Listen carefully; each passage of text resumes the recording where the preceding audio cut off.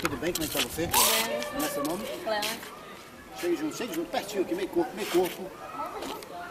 Sobe aqui em cima para ficar mais alto. Tá gravando, Júnior?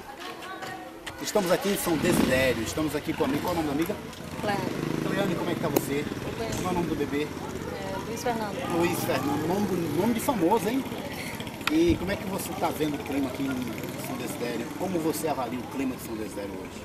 Normal. E na política? A política eu não sei. Ela não sabe. Obrigado. Qual é o seu nome? Cleane. Obrigado, Cleane. Estamos no blog carlosmodesto.com. O cenário aqui da política está um pouco cerrado.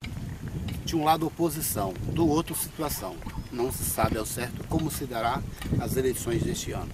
A única certeza que temos é o voto vai ser dis- disputado mano a mano, viu, Juninho? Não se sabe certo quem vencerá. O certo é que o processo democrático, mais uma vez, funcionará dentro de São Desidério. Quem vai vencer? Só esperando, porque nós acreditamos, os indicadores indicam que as eleições vão ser disputadas voto a voto.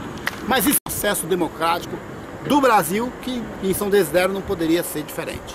Fecha a conta e passa a.